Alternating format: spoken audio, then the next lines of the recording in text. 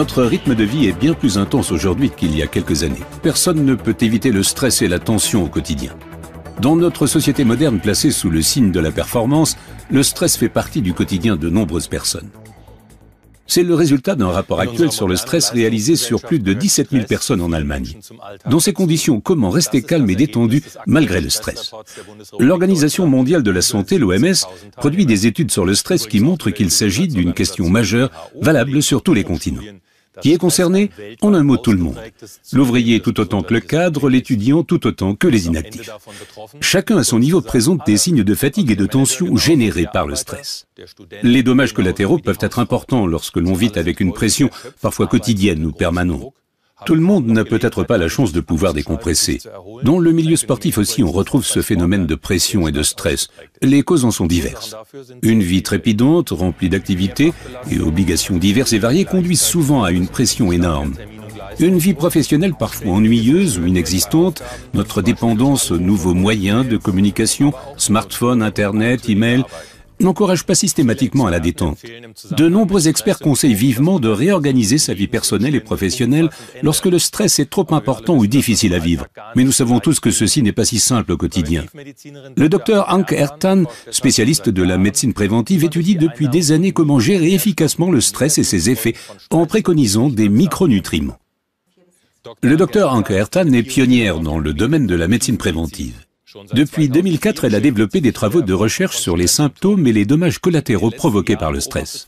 Le docteur Ayrton constate une hausse significative du nombre de patients développant un stress. Les patients se plaignent de maux comme un état d'agitation accru, des troubles du sommeil persistants et une concentration affaiblie.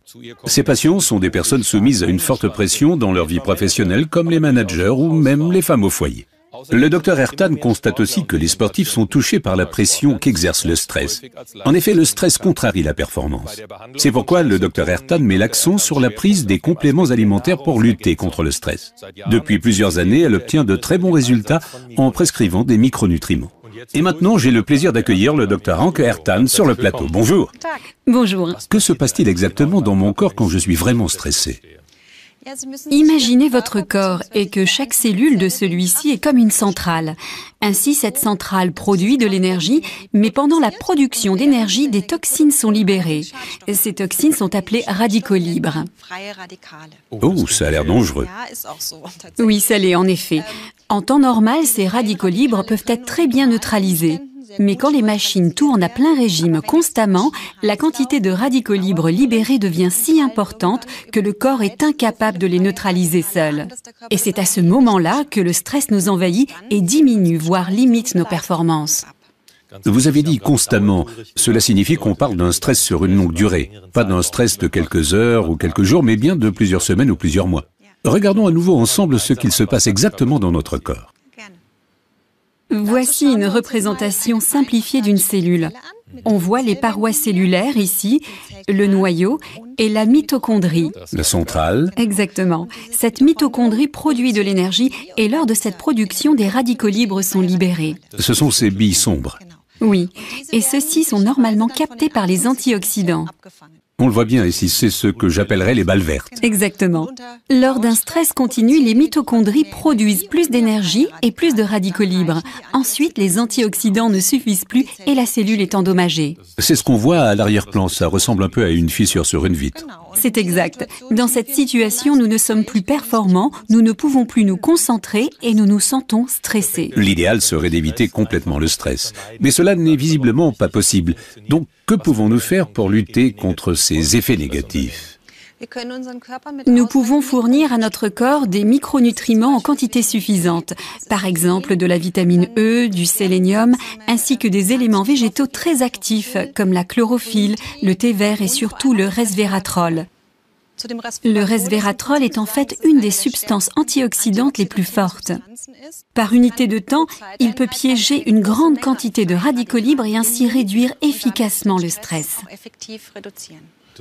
Ça signifie qu'en mangeant tout simplement tous les jours une quantité importante de resveratrol, j'aurai la pêche et je serai libéré du stress. Est-ce vraiment aussi simple? Oui et non.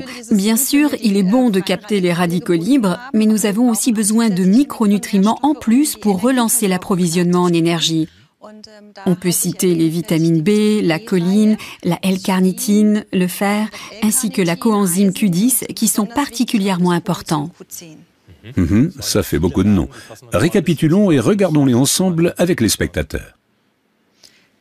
Donc ici, on voit la Q10 pénétrer dans la cellule, fournisseur important d'énergie parce qu'elle soutient directement la mitochondrie, notre centrale. De plus, il y a des nutriments très importants, comme le fer, entre autres, qui contribuent à assurer le transport de l'oxygène. En ce qui concerne le mental et afin d'augmenter notre capacité de mémorisation et notre psychisme, nous avons besoin de vitamine B et de choline, qui sont importantes pour approvisionner nos cellules nerveuses en sucre. Et si on prend régulièrement un mélange optimal à partir de ces micronutriments, on se sentira mieux dans son corps, mais aussi mieux dans sa tête. On sera plus en forme, on disposera d'une plus grande capacité de concentration et on se sentira moins stressé. Donc c'est le mélange qui compte, le mix de tous ces micronutriments. Exactement. Quand commence-t-on à remarquer les effets de tout cela? La plupart des patients le remarquent assez vite.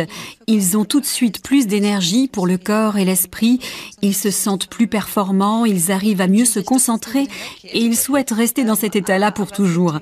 Mais il y a un petit nombre de patients qui disent ne pas vraiment ressentir les effets.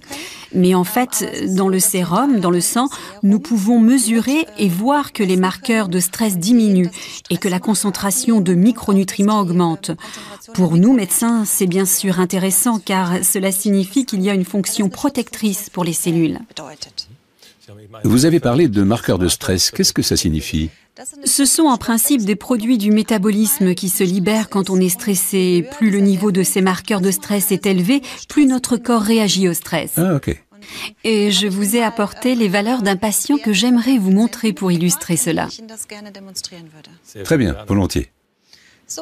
Donc ici, nous voyons trois des marqueurs de stress que nous avons mesurés. C'est la créatine, les peroxydes lipidiques et la 8-épi-prostaglandine. Et comme nous le voyons très bien ici, ces niveaux diminuent constamment au fur et à mesure de la prise des micronutriments combinés les uns avec les autres.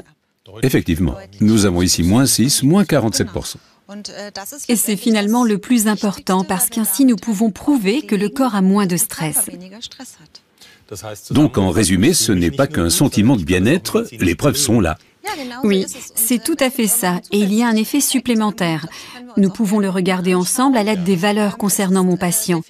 Finalement, le niveau de stress a baissé et la concentration des micronutriments dans le sérum du sang a aussi augmenté. Nous pouvons constater que nous redevenons plus performants, ce qui est très important. Donc si j'ai bien compris, pour simplifier, plus de performance et moins de stress. Oui, on peut le dire comme ça. Il est donc clair que nous ne pouvons pas complètement éviter le stress à notre époque, mais nous savons maintenant exactement quels sont les micronutriments à prendre pour en combattre les effets négatifs. D'accord, mais pourquoi tant de personnes sont encore submergées par le stress? Pourquoi ne pas tout simplement leur donner un remède? Ce serait bien si c'était si simple. Il faut cependant être vigilant à la prescription, à la quantité de micronutriments que l'on recommande. Il faut aussi bien considérer le patient. Une évidence aussi, bon nombre de personnes ne savent pas qu'en s'alimentant correctement avec des micronutriments, elles peuvent améliorer leur gestion du stress. Oui. Je vous remercie donc d'être venu nous expliquer votre travail et le fonctionnement des micronutriments. Merci beaucoup, Dr Ertan. C'est moi. Mesdames et messieurs, grâce au Dr Ertan, nous voilà un peu plus aguerris pour connaître le stress et son fonctionnement et ainsi mieux le gérer. Merci beaucoup et à très bientôt.